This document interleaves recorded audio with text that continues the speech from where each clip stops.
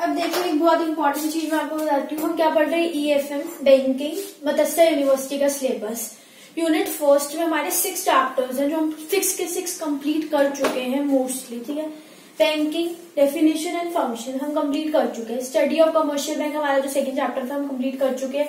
Reserve bank of India जो हमारा third chapter हम कंप्लीट कर चुके हैं. Fourth NABARD fifth monetary policy अब बात आती है सिक्स चैप्टर जो आप कहोगे हमारे पास इसकी वीडियो अवेलेबल नहीं है। बिल्कुल नहीं होगी क्योंकि क्रेडिट कंट्रोल बाय आरबीआई जो इसमें पढ़ चुके हैं रिज़र्व बैंक ऑफ़ इंडिया में। इसमें अगर कुछ भी ऐसा लगा तो मैं एक वीडियो पोस्ट कर दूँगी, ठीक है?